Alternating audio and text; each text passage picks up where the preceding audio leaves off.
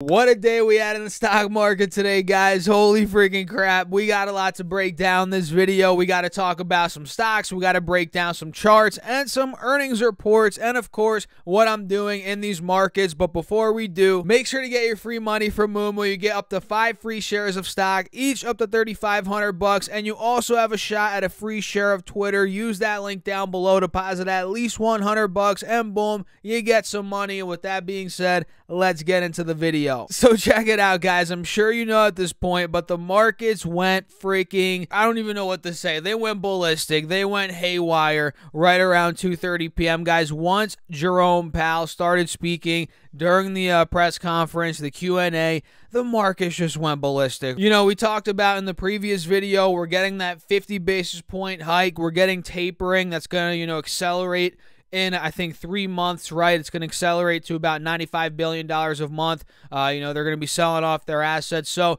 that's kind of what happened earlier. And make sure to go check out that video if you want more insight on the Fed meeting and kind of how the markets reacted right around that time. But for this video, guys, we got to break down some earnings. We have eBay, Etsy, Uber, Twilio, Sunrun, Marriott, CVS. So we could go all day. I mean, there's a lot of companies we could talk about. But first, before we do that, let's go over these charts because since my last video, SPY went up even more. I think I filmed my last video at about 315, maybe 320, 330 on the East Coast, something like that. And then SPY went from 425, which is where it was at about 315, and went all the way to 430 pretty much, which means it ran up another 0.8% just in power hour. I mean, throughout the entire hour from 3 to 4 p.m., it probably went up over 1%. I mean, way over 1%. Let's see here. Um, SPY went up about, yeah, 1.3%. Power Hour, Triple Q probably beat that. I mean, I bet, I'd bet my life savings on it that Triple Q beat that. Let's see here. Uh, it went from 325 to about 330. Yeah, it went up about 1.5% in power hour. So the markets completely just uh, blew up in a good way today and we saw a push towards a key resistance. Look at this, guys. Have I not been saying this? 330 on Triple Q is a sticking point. That is where we ended up closing literally at 330 today, guys, on Triple Q. So for tomorrow, plain and simple, are we going to break 330? Are we going to break 331. That's critical. I'm actually going to put my alert at 331. Mark is at or above. If that point breaks, guys, we might see this rally continue, and before we know it, Triple Q could be in the mid 300s again. You know, that's definitely in the cards right now based off kind of the certainty we got from the Fed today and kind of uh, more insights and so forth. Again, we talked about that in my previous video a little bit more in depth. So, yeah, guys, pretty much 331. You know, that's what you have to watch on Triple Q here. If that breaks, we could see a 4 or 5% move. Not in a day, but, you know, over the next couple of days, week or two, I, I don't know. Uh, you know, we could end up making a 4 or 5% move, something like that, up to about 345, 350, which was resistance not too long ago. It was just in the middle of April. So I'm watching those points on Triple Q right now. SPY, let's take a look here. SPY also closed under a big resistance, 430 bucks a share, which was resistance in the end of April. And if that point breaks, we might be going up to 450 guys, which was the resistance point on the 21st of April and even even on the uh, 7th of April. So pretty much all of April we struggled at about 448, 450. So if uh, SPY breaks above 430, which is where I already have my alert at right now, you know, if we take that point out, don't be surprised if this runs up for maybe 5% as well. You know, the next gap to fill would be up to 450. So keep your eyes on those points, guys. We kind of talked about crude oil in my previous video, so I don't want to just repeat myself here over and over again, but 110, 115. Watch out for those levels on the upside. And the VIX, guys, look at the VIX. This thing went down 13% on the day. Now it's in the mid 20s. What did I say? Did I not say this a video or two ago? Look at where the VIX has topped out time and time again, at least over the past couple of months. We're noticing right at 35. This was back in December. In January, right at about 38, 39. In February, right at about 37. And just now, we hit 37. And I told you guys, when the VIX gets that elevated, you know, some sort of short term rally's got to be around the corner. And the catalyst was, I guess, the Fed at this point.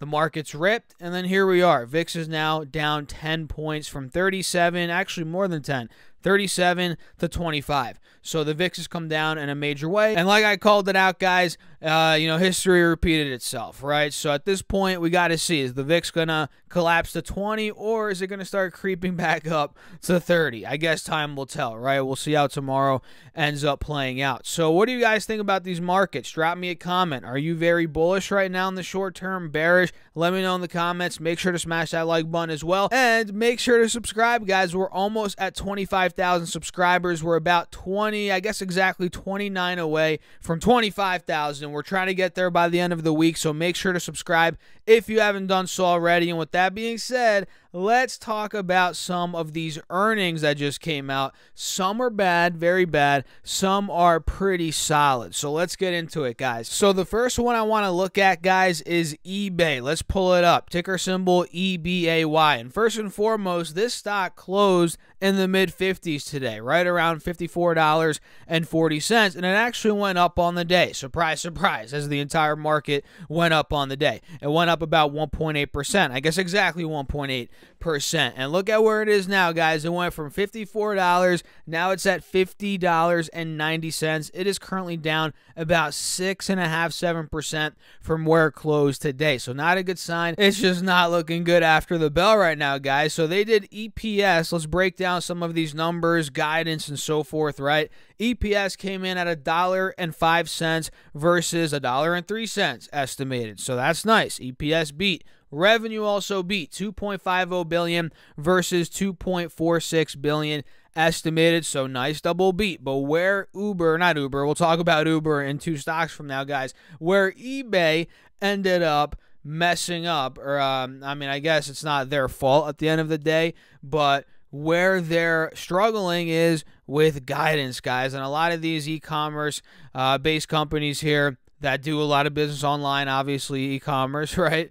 They're they've been struggling, and we'll talk about Etsy here in a second. So they see adjusted EPS for Q2 between 87 and 91 cents versus the $1 and 1 cent estimate. So eBay, that is uh, eBay, you're not looking good now. That is a lot lower than the estimate here. Revenue is a lot lower as well, 2.35 to 2.4 billion versus the 2.54 billion estimated. So Q2 sales not looking good. And get this guys, full year 22 sales and full year 22 adjusted EPS not looking good either. Adjusted EPS of 390 to 410 is what eBay is expecting, while the analysts are expecting four dollars and thirty four cents. So that's a, that, that that's a big miss right there, eBay. And revenue. And and by the way, guys, full disclosure, I do not own eBay. I don't even know why I'm talking like that, but you guys get the point, right? They're missing on EPS and revenue 9.6 to 9.9 billion is what they expect versus the 10.4 billion estimate. So eBay missing on all uh, cylinders here in terms of guidance. But the past quarter, I guess they had a double beat. But the markets clearly don't care about the past quarter. They're looking forward, right? That's what the markets do. They look forward, and the, the guidance is not good. So the stock is pricing that in now, and it is thus down about six and a half, seven percent. Like I said, so although I do business on eBay, and by business I mean I like to sell little things here and there. I used to do that years ago. You know, I used to resell and do all that stuff. I think I've mentioned that in videos before. Um, you know, I used to do that. And now I, I just sell little things. You know, if I find something in the house, boop, go on eBay, right? Post it. Or if I find something and you know want to buy it and then I don't want it later on, which I actually just did with a shirt right here that I'm looking at. Uh, I bought it's actually a jacket. I bought this jacket, guys.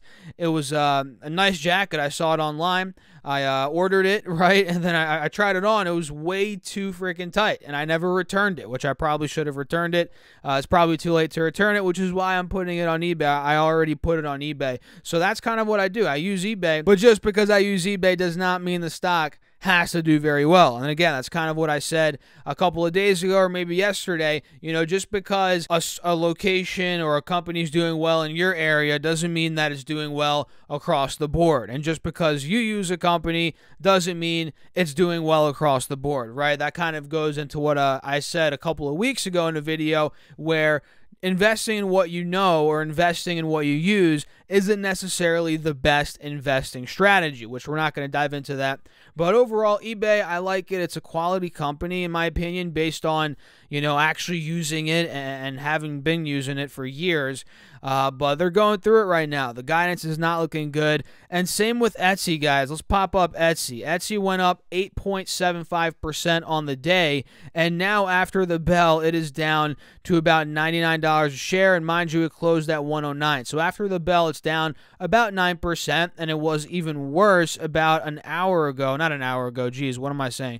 Uh, about 30 minutes ago, it was worse. Uh, it got down to about 90. So from 109 to 90 initially when these earnings came out, guys, this stock dropped 18.5% not good at all. So let's break it down 60 cents EPS versus 59 cents. They beat, kind of like eBay. They beat on EPS for the previous quarter. And just like eBay as well, they beat on revenue 579.27 million versus 575.44 million estimated. So they beat nicely on EPS and revenue, but the upcoming quarter sales guidance is garbage. What the heck just happened? Wait a second. Did you guys see this chart just uh, freak out on me? It went all the way to 109. Now it's back to 99. Look at that. Look at that candle there, guys. Anyway, their guidance for Q2 is 540 to 590 million for revenue, and the guy or uh, the estimate rather is 627.79. So they're missing on um, you know revenue guidance, which is key. And if you're a long-term investor, you know this could be an opportunity for you to buy Etsy. You know, I'm not telling you what to buy. I'm not buying Etsy. I'm just saying in general, when companies are going through short-term turmoil, that's when you want to buy. it. You know, and this stock is clear, uh, clearly going through it. You know, it's down 70% from this recent 307 high, which was not that long ago, guys, six months ago, and it's going through it. So Keep your eyes on Etsy. Uber is another one. Let's pop up Uber and see how this stock is doing. This went down 4.6% on the day. And look at that channel I drew out a couple of, of videos, probably not a couple of videos ago. It might have been a video I made about a month or two ago because look at how much um, you know price action we got out of that channel. Anyway, look at that. It ended up playing just, uh, you know, just like we talked about in that video a while ago in terms of that channel. You all can see here, Uber's been trading in a textbook downtrending channel. It's just been getting clobbered for a long time, month after month after month. Uber's been going down, and they just reported. So let's see what the heck's going on. They did revenue of $6.85 billion, EPS of negative $3.04. So they're losing money hand over fist. But mobility gross bookings are up 58% year over year. Monthly active platform consumers were 115 million, and Q1 trips rose 18%. So people are still taking Uber, guys. Those trips rose 18% year over year to 1.71 billion or about 19 million per day. Think about that. About 19 million trips per day. That is freaking nuts. So at this point, Uber, let's see how far Uber is down from highs. I mean, I don't really track. I track it. I mean, I follow the earnings. You know, I look at a lot of companies' earnings, guys. Obviously, I don't do a deep dive into every single company's earnings. That's unrealistic. That's dang near impossible. You can't do that. Uh, but I, I look at some, you know, briefly. Then obviously the companies I have more money in, I look a little bit deeper into those, which is what I advise you guys to do, or it's a smart thing to do. It's not financial advice advice. I'm just saying, you know, if you uh, have a bunch of individual stocks, the ones that you have the most money in, obviously you're paying the most attention to those, right? It only makes sense. Um, so yeah, Uber, I got to look deeper into it, although I don't own any shares right now.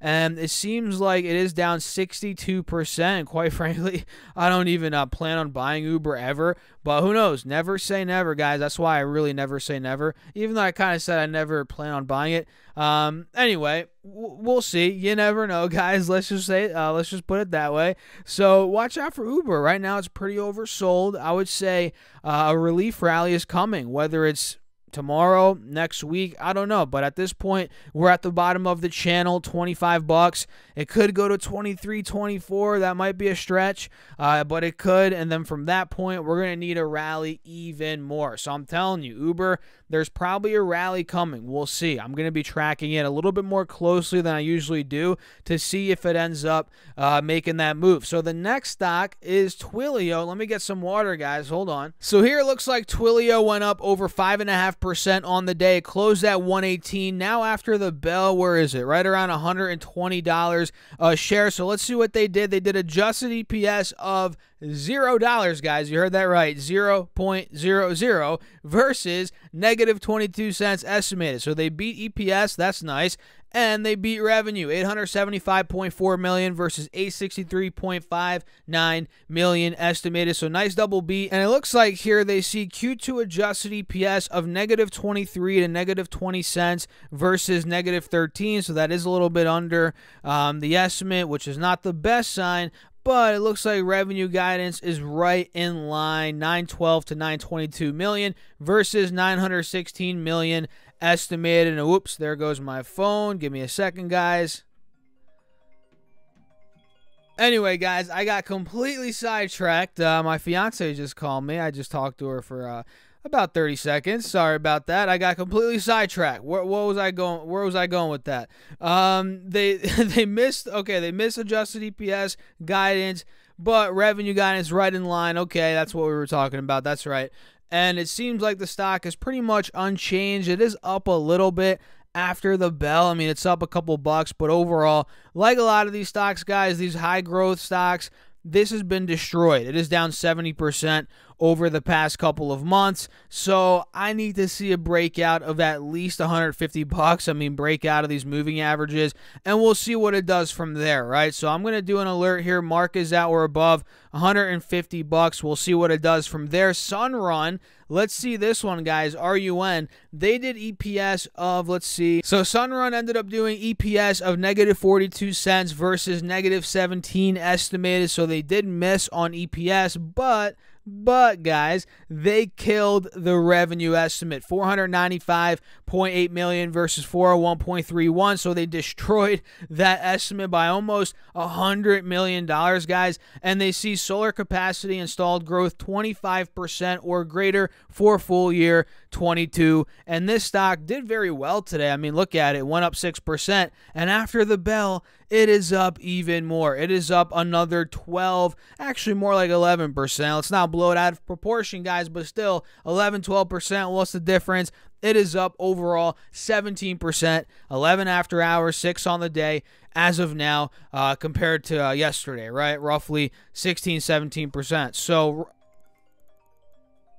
and geez, I just got another call, a spam call. I got to put my phone on uh, do not disturb. Sorry, guys. Um, yeah, Sunrun's crushing it. And going back to this four hour chart, um, we're noticing it's right by the 180 SMA. So if you want to see some sort of cup and handle or, uh, I don't know, a breakout above this moving average, we got to start cracking above 28 and i think this could end up running in the short term here. So i'm going to put an alert at 28 bucks.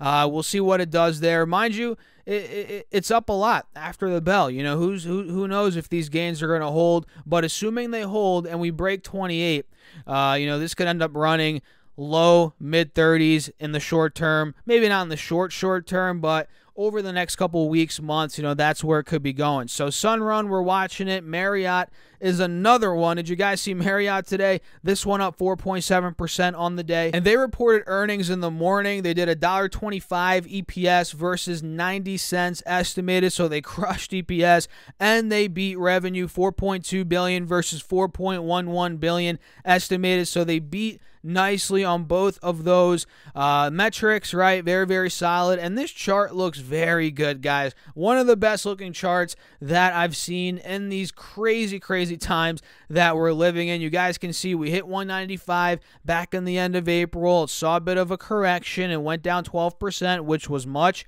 needed in my opinion. And now we're noticing buyers stepping in right at this 180 moving average and popping this thing back up after a solid earnings report. Now, if we end up breaking, let's say, uh, let's pull this 10 day chart up. If we break this 10 day chart resistance that I just draw out or drew out rather, right? If we take out 180, 185, and mind you, 185 was resistance in the end of April, this could end up ripping even more maybe back towards that 195 high. Heck, maybe even higher. So keep your eyes on Marriott International. And the last one is CVS. And if you guys stuck till the end, I appreciate you all. Make sure to smash that like button and subscribe if you haven't done so already. Look at CVS. Today it went up 4.8% on adjusted EPS of 222 versus $2.15 estimated that beat and they beat revenue 76.83 billion versus 75.39 billion estimated. So double beat for CVS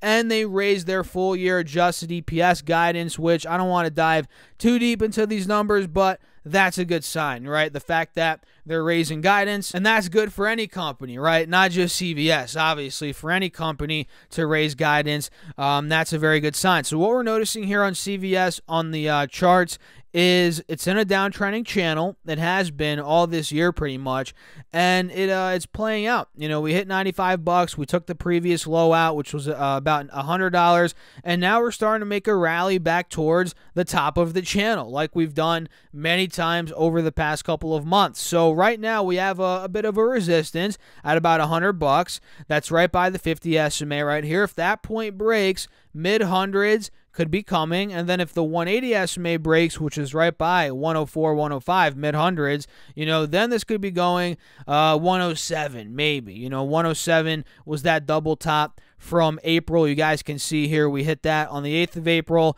and the 20th of April, which 420. Shout out to Elon Musk, right, guys?